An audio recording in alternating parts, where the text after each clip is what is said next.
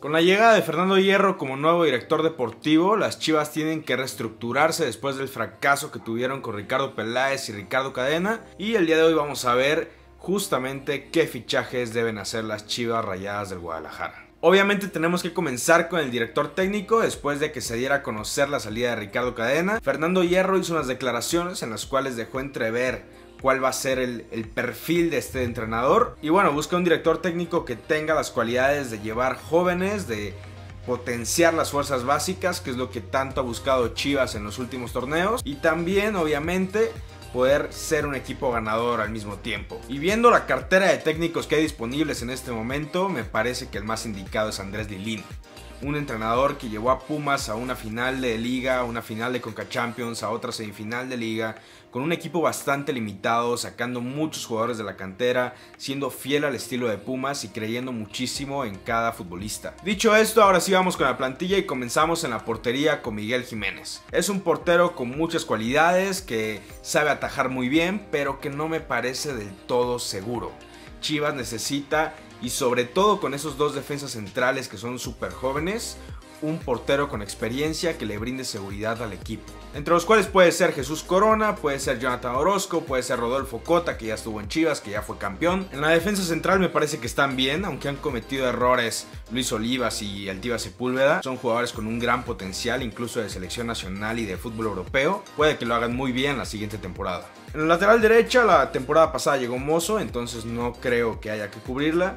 Por el lado izquierdo se fue Ponce y me parece que recuperar a Mayorga, que alcanzó un nivel muy alto con Andrés de Lini justamente, puede ser una gran opción para el rebaño y, y, que ahora sí pueda consolidarse y pueda ser ese jugador que nos ha mostrado, pero que sin duda ha quedado mucho a deber en las últimas temporadas Alejandro Mayorga. En la media cancha, un jugador con experiencia, jugadores que nutran, que fortalezcan ahí, pueden ser muy importantes. Una mezcla entre jugadores experimentados y jugadores jóvenes pueden ser la clave para que Chivas llegue al siguiente nivel. Y Luis Montes podría ser un jugador que podría venirle de perlas a las Chivas. Tiene muy buen pie, también tiene mucho liderazgo y es un futbolista muy pero muy interesante y una gran opción de mercado. Además, Luis Chávez sería una gran opción para el Guadalajara, se ve un poco complicada la negociación, pero si Chivas quiere y puede poner el dinero, Luis Chávez es un jugador que sin duda te va a dar mucho, pero mucho peso en la media cancha y no te vas a tener que preocupar por un mediocampista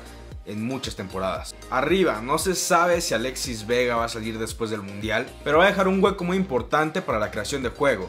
Y ahí es donde Víctor Guzmán puede ser muy pero muy relevante, ya que es un jugador que estaba vinculado a Chivas, es un jugador que se sabe que quiere ir a Chivas en algún momento, pero que no se ha dado la oportunidad. Es claro que Víctor Guzmán no es Alexis Vega, ni son eh, muy parecidos, pero Víctor Guzmán puede cumplir ese rol de crear juego y ese rol de ser protagonista en el último tercio de la cancha. Y arriba para la delantera hay dos opciones, y las dos son bastante interesantes. La primera de ellas es Santiago Muñoz, que al parecer no se va a quedar en el Newcastle, va a regresar a Santos, y ahí es donde Chivas puede aprovechar y llevarse al delantero mexicano. Un jugador con mucha proyección que puede aportarle muchísimo al equipo y que sería una gran opción si es que no pueden conseguir al siguiente nombre que es Javier el Chicharito Hernández. Fernando Hierro tiene que poner un golpe sobre la mesa y traer al Chicharito porque sería una gran noticia para todos los chivarmanos y podría recobrar esa ilusión que se ha perdido con el tiempo. El Chicharito Hernández es un ícono de las Chivas, un ícono de la selección, un ícono del fútbol mexicano y su regreso podría ser muy positivo tanto en el tema futbolístico